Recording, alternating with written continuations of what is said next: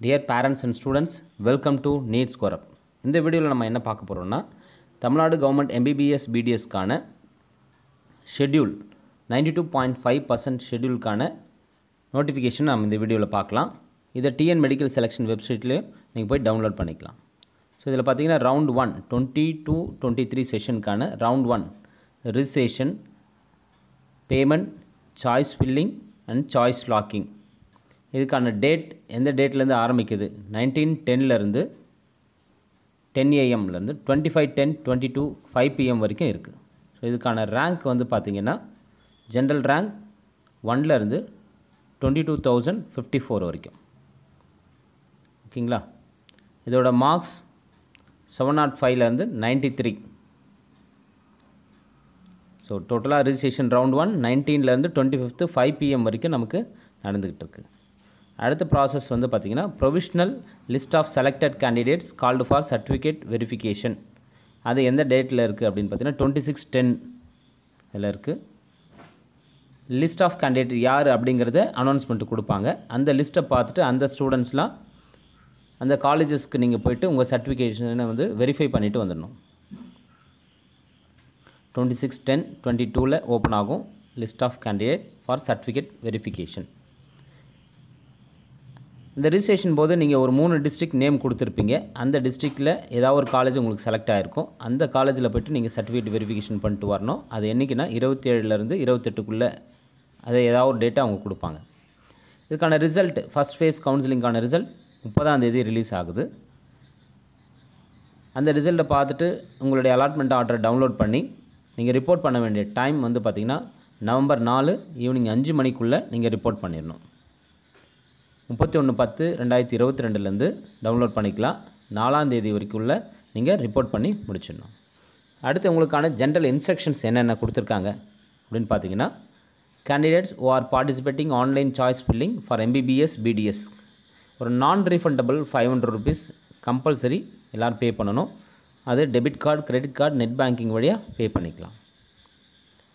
அடுத்து choice filling பண்ணுறதுக்கு முன்னாடி உங்களை ப்ராஸ் ப்ராஸ்பெக்டஸை கொஞ்சம் கேர்ஃபுல்லாக படிச்சுக்கணும் அப்படின்னு கொடுத்துருக்காங்க. Candidate should be careful while choice filling. ரொம்ப முக்கியமானது. சாய்ஸ் ஃபில் பண்ணுற போது ரொம்ப கேர்ஃபுல்லாக பண்ணணும். ஏன்னா இந்த சாய்ஸிங்கில் வந்து எந்த காலேஜஸ் வேணும்? கவர்மெண்ட் பிடிஎஸ் எம்பிபிஎஸ் எதுக்கு போகணும் அப்படிங்கிறதுக்காக ரொம்ப கேர்ஃபுல்லாக பண்ணணும். அடுத்து சீட் மேட்ரிக்ஸ். அஃபிஷியல் வெப்சைட்டில் இருக்குது அந்த சீட் மேட்ரிக்ஸில் பார்த்துட்டு என்ன வேக்கன்சி இருக்குன்றதையும் பார்த்துட்டு நீங்கள் சாய்ஸ் ஃபில்லிங் கொடுங்க.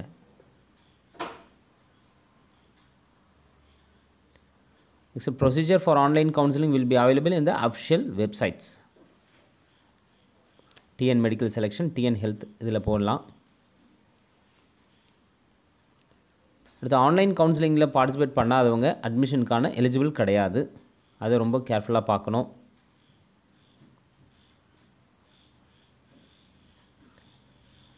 Candidate could add edit their choice உங்களுடைய சாய்ஸ் ஃபீல்டில் அவங்க வந்து நீங்கள் எடிட் பண்ணிக்கலாம்.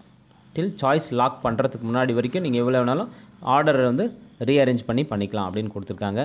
ஒன்ஸ் நீங்கள் சாய்ஸ் லாக் பண்ணிட்டீங்கன்னா it cannot be change later அப்படிங்கிறது மைண்டில் வச்சுக்கோங்க.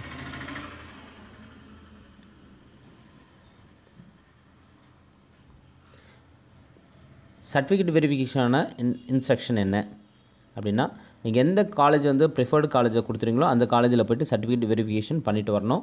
வித் ஒரிஜினல் சர்டிஃபிகேட்ஸோடு நீங்கள் போகணும்.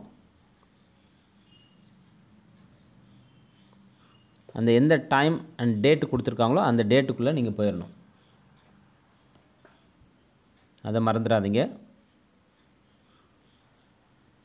அதனால தான் நீங்கள் உங்கள் பக்கத்தில் இருக்கக்கூடிய நியர்பை டிஸ்ட்ரிக்டில் இருக்கக்கூடிய காலேஜஸாக நீங்கள் கொடுக்கணுங்கிறது.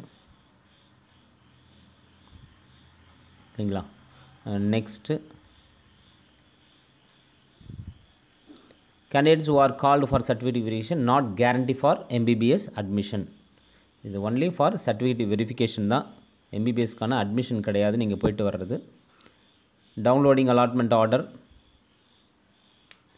non refundable amount tuition fee pay பண்ணிவிட்டு தான் நீங்கள் உங்கள் அலாட்மெண்ட் ஆர்டர் டவுன்லோட் பண்ண முடியும்.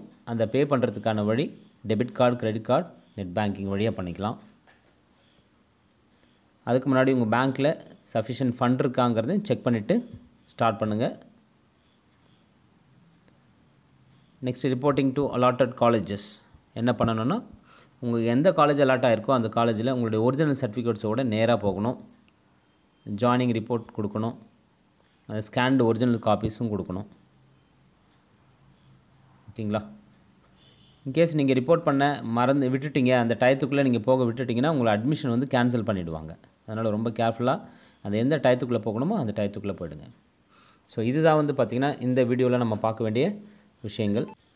இந்த வீடியோவில் நம்ம government ஷெடியூலுக்கான non ninety two point five பர்சன்ட்டுக்கான ஷெடியூலை பார்த்துருக்கோம். ஸோ இந்த வீடியோ உங்களுக்கு ரொம்ப யூஸ்ஃபுல்லாக இருந்திருக்கும்னு நினைக்கிறேன். மறக்காமல் நீட்ஸ் கோரப் சேனலுக்கு சப்ஸ்கிரைப் பண்ணுங்கள் ஷேர் பண்ணுங்கள் கமெண்ட் பண்ணுங்கள் லைக் பண்ணுங்கள் thank you students all the best